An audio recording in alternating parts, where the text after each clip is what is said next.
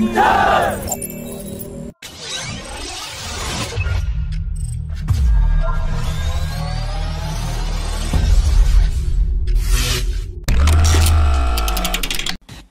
In a very significant development, the DRDO has conducted the first developmental trial of the 1000 km range Nirbhay cruise missile fitted with an indigenous 450 kg force Manik small turbofan engine developed by DRDO's gas turbine research establishment.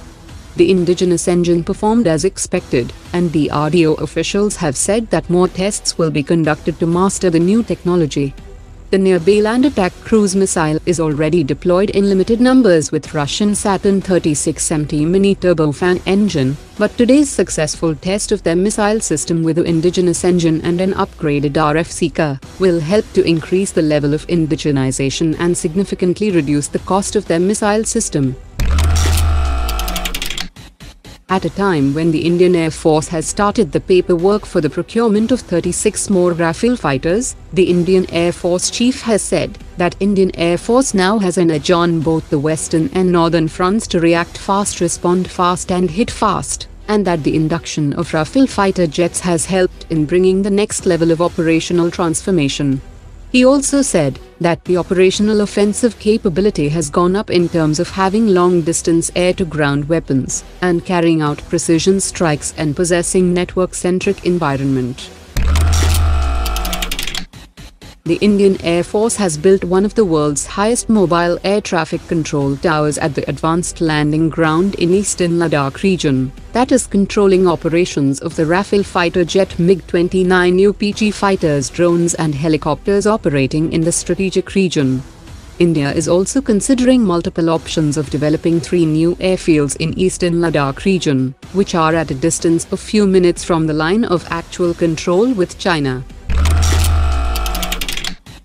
Cochin Shipyard Limited in association with the Directorate of Naval Design has offered to construct and deliver a sister-class ship of the INS Vikrant in the next seven years, that will come with more than 76% indigenous content as expertise and local ecosystem has been created. The Indian Navy which was strongly against the construction of a sister ship of the INS Vikrant, is now reconsidering its position due to the rapid construction pace of the Chinese aircraft carriers, that might see at least one permanent carrier strike group deployment in Indian Ocean region by 2025. An Israeli origin searcher reconnaissance drone operated by Indian Air Force has crash landed in Punjab, and police officials have stated that the drone belonged to the Jammu base of the Indian Air Force, but the control on the drone was lost due to a technical snag. China and Russia have launched a large-scale strategic military exercise in northwest China that saw the deployment of J-20 stealth fighter jets H-6K bombers and Y-20 transport aircraft and the appearance of the fifth-generation aircraft shows that the military cooperation exchange and mutual trust between China and Russia have reached a very high level. The exercise includes electronic warfare and joint strike components, new concepts and tactics for airborne landing and seizure of in-depth hostile regions and swarm drone operations. Australia is keen to invite India to join its exercise Talisman Sabre in 2023, and a formal invite will be extended during Australian Defence Minister's visit to India in September.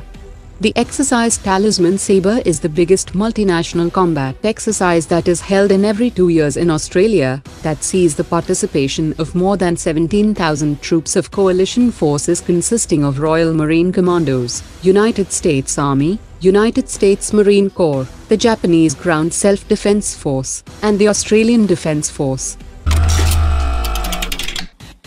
The Indian Army is giving final touch to the integrated battle groups, and the aim is to firm up two integrated battle groups by the end of September.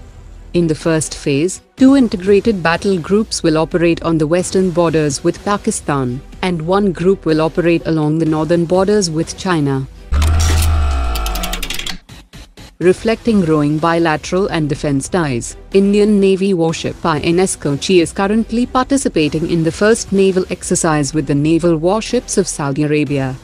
Indian Navy frigate INS Tabar is also participating in a maritime partnership exercise with the Royal Norwegian Navy's Storm corvette, and a range of operations like surface maneuvers, search and seizure exercises and vertical replenishment by helicopter are being exercised. India is unlikely to heed any request from the Afghanistan government for active military support from Indian Air Force, amid the Taliban's rapid advances in the country. Government sources have said that any active Indian military intervention in Afghanistan is not being considered at any level, and the focus is to ensure that peace is maintained through dialogue.